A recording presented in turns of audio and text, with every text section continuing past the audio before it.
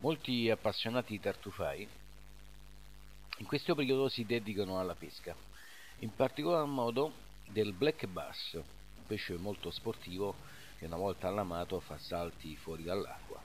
È un predatore che attacca tutto ciò che si muove, predilige logicamente eh, degli artificiali che eh, simulano eh, i branchi di pesci che nuotano.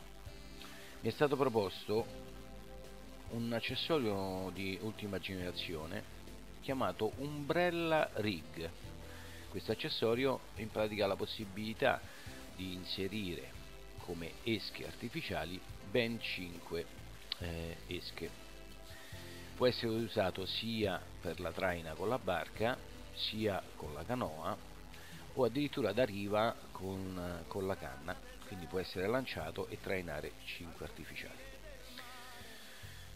Mm, le recensioni su YouTube sono abbastanza positive, ma logicamente bisogna tener conto del fatto che eh, molte di queste recensioni sono fatte dalle case costruttrici o da persone che lavorano per delle case costruttrici. Quindi i filmati che vedete spesso sono dei montaggi eh, dopo svariate uscite di pesca, dopo tarature e test, quindi è solo l'esito finale.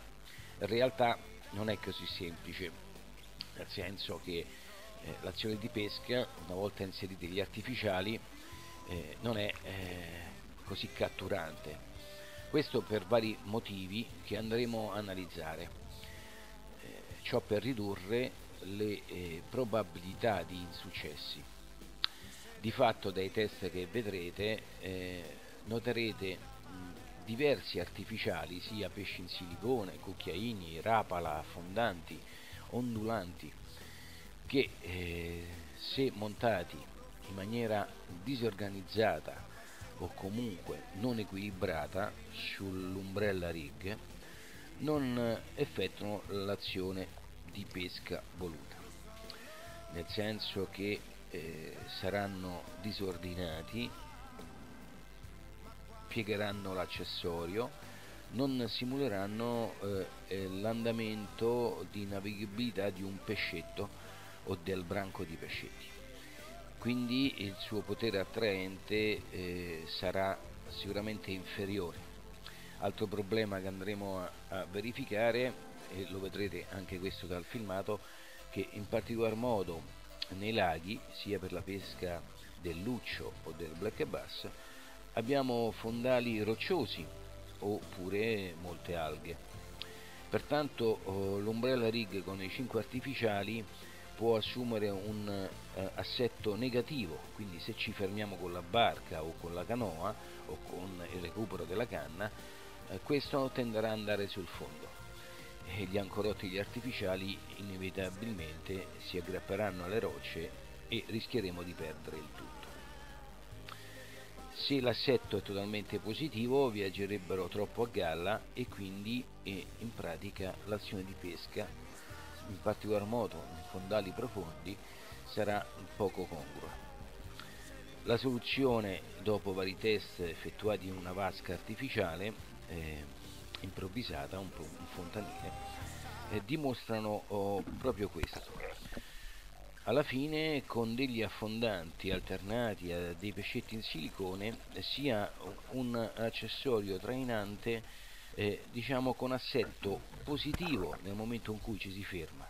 Quindi se ci si ferma con la barca o con la canoa o con il recupero della canna il tutto verrà a galla. Nel momento in cui si inizia l'azione di recupero eh, il finale con i 5 artificiali tenderà ad andare sul fondo.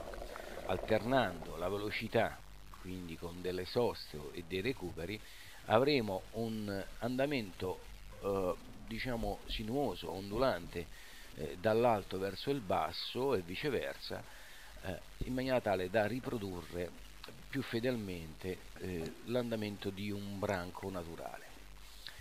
Anche il colore dei pesci mh, va studiato in relazione allo sfondo perché il predatore trovandosi sul fondo avrà come sfondo il cielo, quindi eh, con cielo chiaro è preferibile usare degli artificiali che hanno dei colori scuri in maniera tale che risaltano. Al contrario, se si pesca sotto delle eh, chiome degli alberi o con cielo nuvoloso, è preferibile usare artificiali chiari.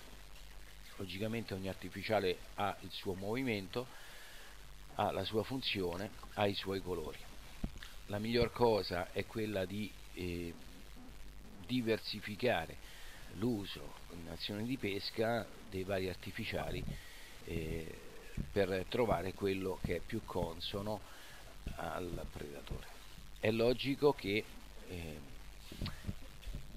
oltre a questo bisogna principalmente in via generale evitare l'incagliamento, eh, avere degli artificiali che hanno un andamento naturale che costituiscono addirittura un branco della stessa specie con forme eh, quindi eh, uguali ma di grandezza diversa per simulare l'adulto, l'anziano e il piccolo.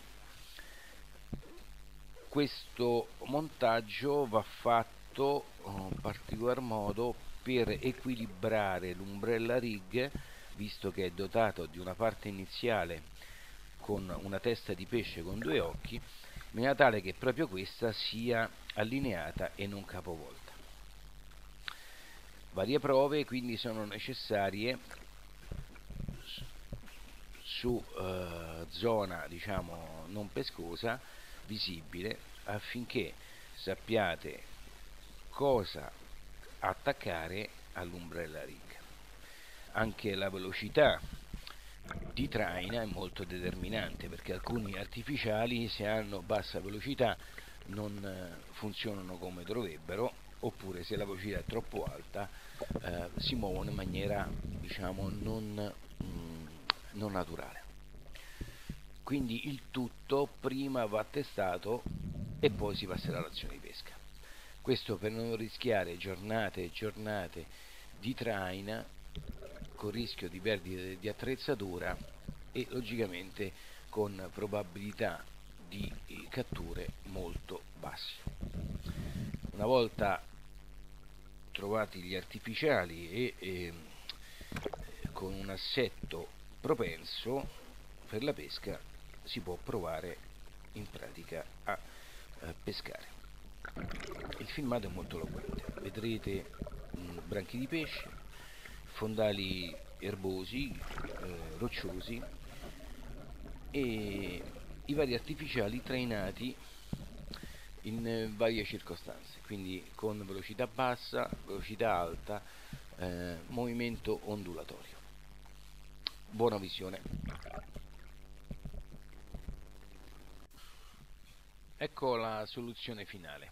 Interponendo degli affondanti con assetto positivo, 1, 2 o 3 sistemati sull'Umbrella League in maniera tale che la testa dello stesso sia in assetto di navigazione sia un assetto positivo. Quindi come ci fermiamo va tutto a galla.